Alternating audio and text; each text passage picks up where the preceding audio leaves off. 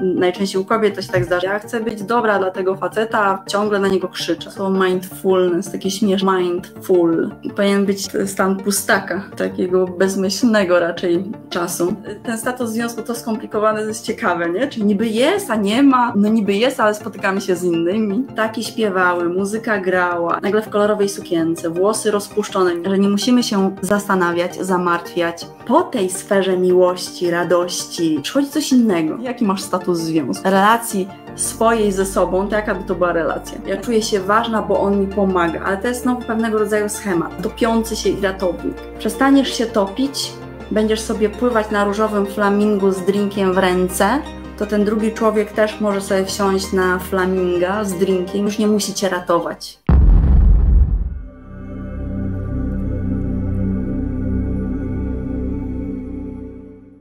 Bo generalnie rozwojem takim, mm, zmianą podświadomości, takim rozwojem duchowym, ja się zainteresowałam dawno temu, dlatego między innymi, bo chciałam mieć takie życie pełne radości, miłości, szczęścia, żeby być taka a, taka wiecie, nie? Taka, taka fruwająca energia żeńska. I to było takie bardzo ciekawe, takie bardzo atrakcyjne. Ja myślę, że większość osób właśnie tego szuka dla siebie, żeby być szczęśliwym, być absolutnie szczęśliwym w sensie takiej radości, którą widać na zewnątrz. Co się okazało? Im głębiej wchodziłam do podświadomości, im więcej tam rzeczy zmieniałam, im bardziej się tym wszystkim bawiłam, to to rzeczywiście był taki moment, był taki czas, kiedy po prostu ptaki śpiewały, muzyka grała, ja w kolorowej sukience, mimo że wcześniej cały czas na czarno chodziłam ubrana, nagle w kolorowej sukience, włosy rozpuszczone, mimo że zawsze kiedyś były złą, gdzieś tam albo bardzo krótkie, albo, albo w, w koka zwinięte. Więc taki obraz mnie, nie? że jestem taka o, fruwająca, lekka, piękna, kolorowa. E, ale to był okres, to był czas, bo on znowu szybko też przeszedł w coś innego, w coś, co my nazywamy wypłaszczeniem sinusoidy. Kiedy, um, kiedy doświadczamy bardzo intensywnych emocji, czyli ja na przykład albo jest nam bardzo wesoło, bardzo radośnie, um, jesteśmy tacy mega podekscytowani, zafascynowani wszystkim, to przyjdzie też taki czas, gdzie będzie wszystko to w odbiciu poniżej, tak? Czyli będzie jakiś dół, jakaś, jakieś no, nieprzyjemne emocje, coś, coś przykrego się pojawia. No i tak to jest. Niektórzy nazywają to wahadłami, tak? Czyli jak się odchyla mocno wahadło w jedną stronę na przyjemności, no to wraca w drugą stronę na te nieprzyjemne rzeczy. Bruce Lipton, którego uwielbiam, napisał jedną ze swoich książek pod tytułem honeymoon effect, czyli efekt miesiąca miodowego, e, gdzie opisuje właśnie, jak biologicznie my jesteśmy w stanie wejść w ten obszar, czy w to poczucie, gdzie czujemy absolutną radość, absolutną miłość, jesteśmy z takim bananem na twarzy, wszystko nas cieszy, jesteśmy no mega szczęśliwi. Bruce opowiada o tym wszystkim do pewnego momentu, nie opowiada, co jest dalej. Dalej jest kolejny obszar, kolejna, kolejna faza naszego rozwoju. Więc on opowiada o tym, co jest takie bardzo atrakcyjne dla nas, do czego każdy dąży, tak żeby zmotywować i żeby pokazać, że to jest wszystko możliwe, że nie musimy, że nie musimy się zastanawiać, zamartwiać, analizować. Ja na początku Wam mówiłam, że umysł to jest metkownica, ona nadaje, próbuje nadać wszystkiemu znaczenie, tak? Próbuje przypisać etykietkę do wszystkiego. I y, mimo, że ta wiedza już się tutaj pojawiła, to gdzieś tam w komentarzach się pojawiło, a ja czułem czy czułam y, wczoraj ogromne przygnębienie, nie wiem skąd to jest, być może to jest Schumann. Nie ma znaczenia, ale zobaczcie, jaka to jest sprytna bestia, tak? Mimo, że już wiemy, że to jest tylko próba nadania znaczenia czemuś i tak naprawdę nie przynosi żadnego rozwiązania, nie przynosi ukojenia, to dalej szukamy, dlaczego jestem zmęczona, dlaczego jestem smutna, nie? Więc um, na ten moment, jeżeli dzieją się nam tak, w nas takie procesy, gdzie mimo świadomej wiedzy nie czujemy tego albo nie robimy tak, jak byśmy chcieli, tak jak wybraliśmy świadomie, to znaczy, że to jest przestrzeń do pracy, do przerobienia, tak? do zastosowania konkretnych narzędzi czy strategii. Ale wracając do Bruce'a Liptona, no i on opisuje to, jak jak e, wejść w te pokłady miłości, wejść w te pokłady radości. Tak? Zaczyna od takiego prostego doświadczenia. E, doświadczenia z komórką macierzystą, bo on jest biologiem komórkowym. E, komórka macierzysta, czyli jedna komórka, taka, która jest początkiem naszego istnienia, w zależności od tego, w jakim środowisku się znajdzie, może z niej powstać coś innego. I wszystko zależy od odżywki, w jaką tę komórkę się wsadzi. Nie robi takie doświadczenia z trzema szalkami Petiego. Jedną komórkę macierzystą wsadza do szalki, gdzie, gdzie jest otoczenie, które sprzyja budowie tkanki tłuszczowej i z tej komórki powstaje tkanka tłuszczowa. Drugą komórkę macierzystą wsadza do otoczenia, które sprzyja budowie kości i z tej samej komórki tworzy się kość. Trzecią komórkę wkłada do otoczenia, e, do pożywki, to się nazywa pożywka dla komórek, do pożywki, e, która buduje mięśnie i z tej samej komórki powstaje mięsień. Nie od Twoich genów, nie od Twoich komórek zależy to, jak się będziesz czuć, tylko od tego, jaka jest pożywka. Pożywką są Twoje myśli, pożywką są Twoje emocje, E, ta pożywka się zaczyna właśnie w sferze energii, czyli w myślach i w emocji. I teraz tak, i oczywiście y, on tym doświadczeniem i wieloma innymi doświadczeniami, i wieloma innymi przykładami i, wiedzy biologicznej i, i z fizyki kwantowej pokazuje, że można wejść do tego stanu, gdzie czujemy absolutną radość i absolutną miłość. Ale to nie jest wszystko. Myślę, że dla każdego z nas jest bardzo ciekawy i bardzo interesujący każdy by się tak chciał czuć radośnie. Tylko, że znowu, to też wiecie po warsztatach, że e, ja tak mówię, wiecie, po warsztatach, żeby odnieść się do tej wiedzy praktycznej, którą część z Was ma dzisiaj. Okay? Tak jest najłatwiej. Nie wszystko da się opisać słowami. Wy znacie to z doświadczenia, z autopsji swojej. Więc po tej sferze miłości, radości, takiej euforii, przychodzi coś innego. Tak zwana wypłaszczona sinusoida, o której mówiliśmy. Czyli to wahadło się uspokaja. I mamy spokój. Na środku jest spokój. To są te wibracje 600. Plus. Tak? Czasami patrzymy na jakąś osobę i widzimy, że ona jest taka, taka stateczna we wszystkim. I można by sobie powiedzieć, nie ma szczęśliwego życia. Bo zawsze stoi taki z taką, z taką twarzą kamienną. Tak? A gdybyśmy zbadali jego wibracje, okazuje się nagle, że to jest istota bardzo uduchowiona, jak to się mówi, bardzo otwarta, bardzo świadoma uduchowiona, czyli świadoma, tylko tyle, kropka. E, nie ma nic wspólnego z, z, z jakimiś tam, nie wiem, mm, religijnymi czy duszowymi sprawami. E, więc po fazie ekscytacji, czyli to, co Hawkins opisuje jako miłość, radość, przychodzi spokój. I ten spokój jest jak trochę taka kamienna twarz. Trochę tak wygląda z zewnątrz nieciekawie, ale w środku jest absolutna błogość. I to jest to doświadczenie, o którym Wam mówiłam wcześniej, kiedy czujesz, że nie ma nic i jest wszystko. Kiedy czujesz, że Ty jesteś tym wszystkim. Możemy, umysł może chcieć nazwać, jest się połączonym ze wszystkim, ale to uczucie jest bardziej takie, że jest się wszystkim. W, w, w praktyce kwantowej doświadczaliście tego, kiedy mogliście poczuć, część z Was na pewno poczuła, jak jesteście po prostu absolutnie wszystkim. E, I tak wygląda nasz rozwój, więc ta euforia, radość, ekscytacja, uśmiech na twarzy, tak, takie ach, ach, ach, to jest pewien etap. Jak idziemy dalej, to czujemy, że jesteśmy. I to jest właśnie to, co zawsze mówimy, rozwój duchowy, tę całą świadomość o, Żantka napisała, czuję, że po prostu jesteś. Dokładnie. Cały ten rozwój duchowy można by zawrzeć w jednym słowie jestem.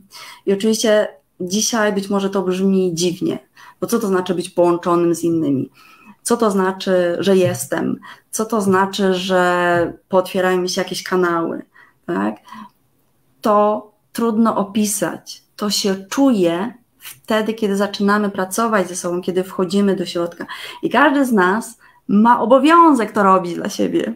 Bo jak wy to robicie dla siebie, to wszystko, to wszystko na zewnątrz się zmienia, pomagacie temu wszystkiemu się rozwijać. Czyli waszej rodzinie się żyje lepiej, waszym znajomym żyje się lepiej. Świat dookoła wygląda bardziej kolorowy. Ostatnio na sesji z kimś rozmawiałam i, e, i pani mówi do mnie, że no żyje, wcześniej jakoś tak o tej wojnie tak dużo było, a ja sobie żyję i w ogóle nie mam żadnych, żadnych już informacji, nikt do mnie nic nie mówi na ten temat. E, jakby ten temat zniknął z mojej przestrzeni. I tak się właśnie robi, że pewne tematy znikają z naszej, z naszej przestrzeni i robi się pewnego rodzaju taka nicość, ciemność, a z, z drugiej strony pełnia. To jest to kółeczko yin-yang. Mamy białe i czarne, mamy wszystko w jednym, odpowiednio połączone, odpowiednio zmiksowane. Ja może teraz gadam po prostu jak jakaś taka, um, taka, nie wiem, z takim odpałem, e, ale napiszcie w komentarzu, dobra, czy rozumiecie o co chodzi, albo czy macie jakieś pytania do tego, tak?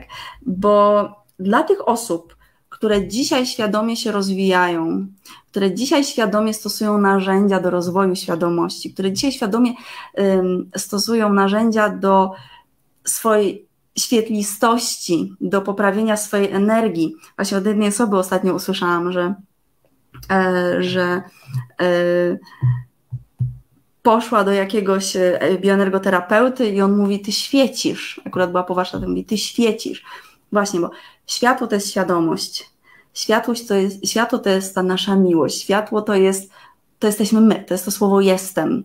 I im większe to światło, im więcej, im więcej ja rozumiem siebie, im więcej ja czuję siebie, wtedy te rzeczy się układają na zewnątrz. Nie? Wtedy umysł przestaje metkować. Znaczy on dalej metkuje, ale to już jest poza nami.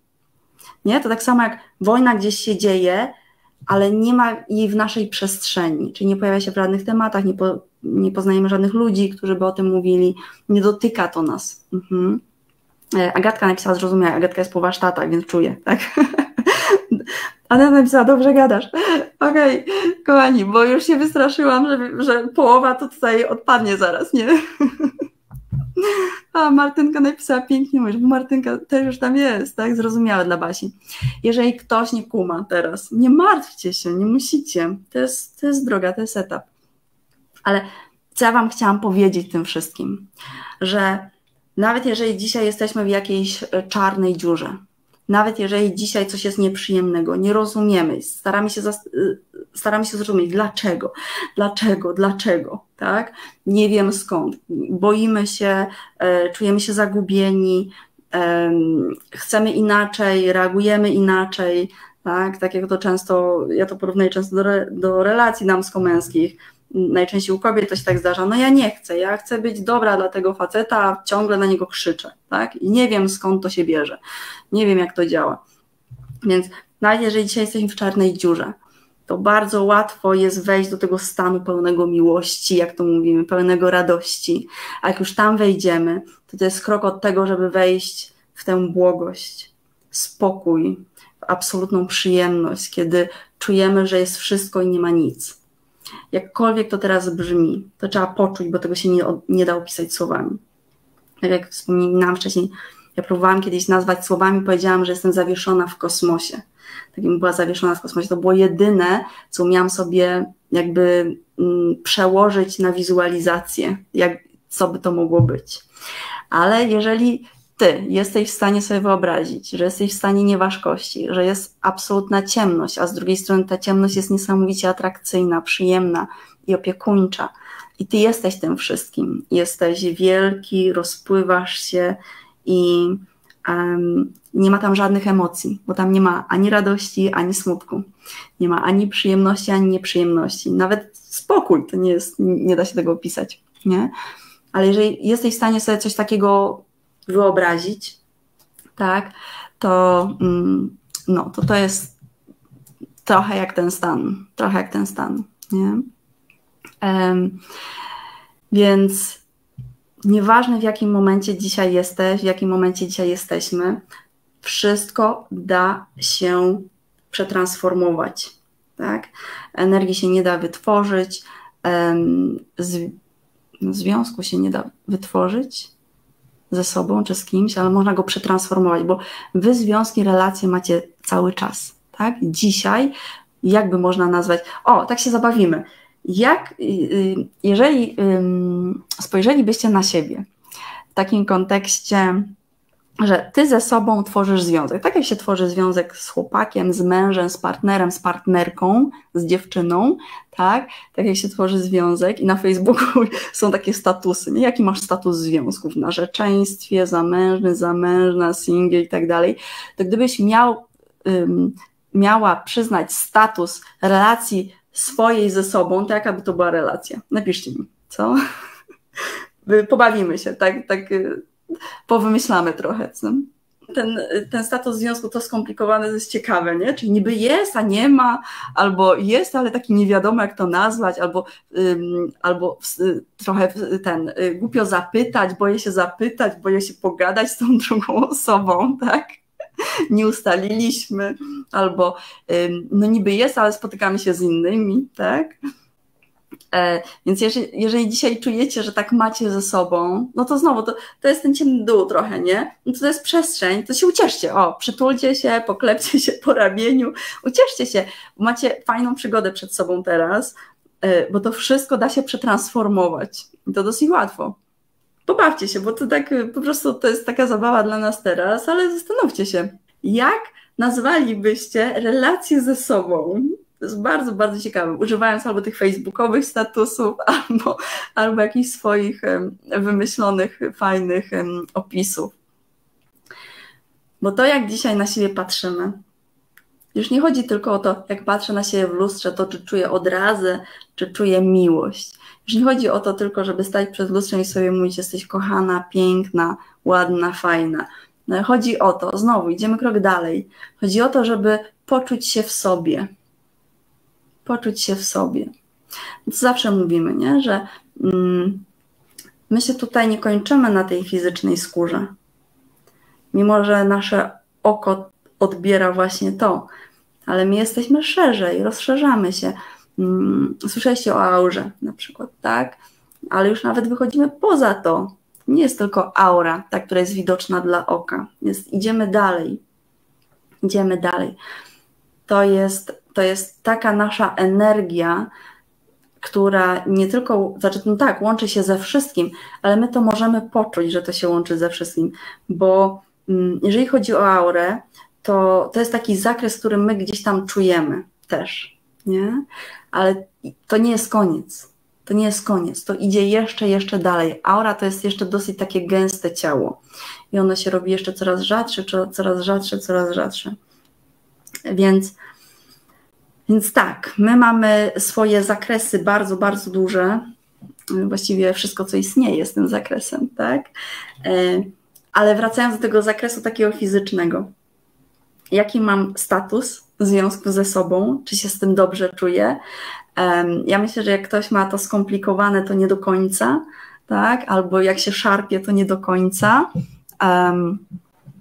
I warto zacząć budować tę relację, bo rzeczywiście to, co też wspominaliśmy wcześniej, to jaką relację mamy teraz ze sobą, taką relację będziemy mieć z innymi. Ja wiem, że czasami niektórzy z Was mówią, że na przykład z moim mężem czy z moją żoną to jest idealnie, tylko ja nie jestem pewna siebie, ja się nie czuję dobrze ze sobą i tak dalej.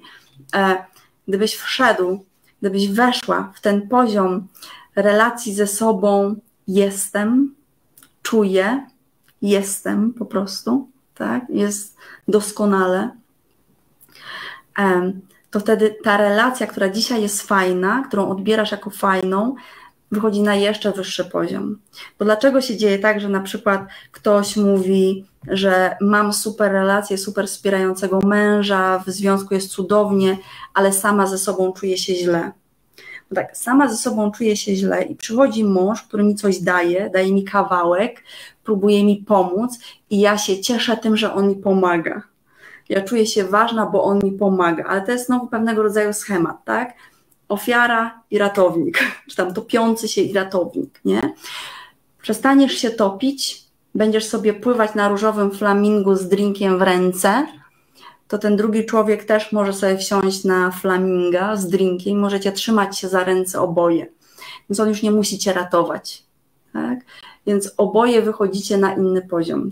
Dzieją się cuda. Te wakacje są jeszcze, jeszcze lepsze. E, I o to chodzi w życiu, żeby, e, żeby być świadomym tego, jaka jest Twoja droga, jaki jest Twój schemat. Jeszcze inna rzecz, czego być świadomym, czym rzeczy naprawdę są. Znowu wrócę do tego przykładu. Powiedziałam, że umysł jest maszyną do nadawania znaczenia, a mimo i, i mimo, znaczy tak, potrzebuje nadawać znaczenie, ale to nie zmienia jakości Twojego życia. Tak? Tylko cię przytrzymuje w tym czarnym dole. Więc można spokojnie ignorować, może nie ignorować, ale spokojnie można, że tak powiem, iść dalej wtedy, kiedy umysł próbuje coś nazwać, tak? Dobra, nazwał, my idziemy dalej. I dalej pojawiają się komentarze, a dlaczego, a nie rozumiem, a skąd to się wzięło i tak dalej. Tak? Bo to tak nie działa. Jak coś usłyszymy, jak coś przeczytamy, to niestety w nas nie wchodzi. Muszą się najpierw otworzyć kanały, wiedza może wejść, bierzemy narzędzie, jeszcze oszlifowujemy te, tę wiedzę, tak? I, I ona wtedy w nas jak taki diamencik sobie jaśnieje. Jeśli to ma sens, ja mówię, boż, rzucam teraz słoń, to się wytnie, to się wszystko wytnie. Ale tak, jeżeli tutaj dzisiaj, kochani, jesteście, jesteście świadomi tego, że to na Was leży odpowiedzialność, ale nie taka ciężka, trudna, o Jezu, to teraz ja, to ja muszę teraz pracować, ale Wy macie odpowiedzialność tego, żeby przepracować relacje ze sobą. A jak już to przepracujecie, to idziemy jak Indiana Jones do dżungli i budujemy relacje z innymi. Do tego też trzeba się nauczyć, bo to jest właśnie to budowanie relacji ze sobą ceteris paribus, czyli przy innych czynnikach niezmienionych, super fajnie, ale nie żyjemy w jaskiniach, to co zawsze mówię, nie? tak jak przy medytacji zawsze mówię, usiądź tak, a nie tak, bo nie żyjesz w jaskini bo żyjesz w domu, bo masz rodzinę, bo masz pracę, bo masz wiele, wiele rzeczy i potrzebujesz większego wsparcia, większego zasilenia. Nie? Jak wyobrazicie sobie mm, te swoje wakacje? Nie? Chodzi o ten najlepszy scenariusz. I to jest ten punkt drugi, o którym pisze Bruce Lipton. Tak? Czyli wychodzimy z ciemnego dołu, wchodzimy do absolutnej radości, do raju na ziemi, jak to się mówi, do tego miesiąca miodowego. To jest punkt drugi dalej będzie spokój, cisza, niewzruszoność, rozpłynięcie, jeśli można użyć takich słów. I kiedy wchodzimy właśnie w takie gadanie, my, my i tak nie mówimy wszystkiego, prawda? Tylko gdzieś tam takie, takie rzeczy, które mogłyby zainspirować, mamy nadzieję, zmotywować, gdzieś tam dodać otuchy. Um, tej wiedzy jest trochę więcej. Um, znaczy, może ona jest głębsza, o tak, że jeszcze nie teraz, dobra, po kolei. E, ale skupcie się właśnie na tym, mm, na tym, co, o czym dzisiaj tutaj mówiliśmy. Bierz status związku, spędź w ten sposób wieczór ze sobą zasypiając, zasypiając, pomyśl, czy to jest to, czy to jest to dla ciebie. Czy chcesz tam zostać, czy jeszcze chcesz iść dalej. Okay. I nie ma tutaj ani dobrych, ani złych odpowiedzi, tak samo jak nie ma ani dobrej, ani złej drogi, tak samo jak nie ma ani dobrego, ani złego doświadczenia. Tylko są takie momenty, są takie etapy w naszym życiu, że potrzebujemy gdzieś być. I tylko tyle. Dobrze. Kochani, to ja Was zostawiam z tą myślą, a właściwie nie z myślą, z tym uczuciem. Tak? E, oczywiście ja mówię do Was myślami, mówię do Was myślami, ale zostawiam Was z uczuciem wasz idealny status związku ze sobą na dziś. Dobra? Także bierzcie, cieszcie się i spędźcie tak dzisiejszy wieczór, tak mindfulnessowo, czyli świadomie. W ogóle to słowo mindfulness takie śmieszne, nie? No to jest mindful. Raczej powinien być e, stan pustaka, takiego bezmyślnego raczej czasu. No ale jest jak jest spędźcie taki wieczór na pustaka z tym uczuciem tego statusu. Z tym Was zostawiam. Także dziękuję, dziękuję za dzisiaj. A, stop! Stop! Jedno słowo, jedno zdanie, które są zabieracie.